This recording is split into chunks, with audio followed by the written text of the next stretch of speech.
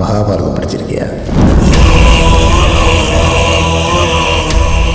மகாபாரதத்தில் கிருஷ்ணர் நூறு வாய்ப்பு கொடுத்து கௌரவர்கள் மாறலாம். நீ ஒரு வாய்ப்பு தானே கேட்குற.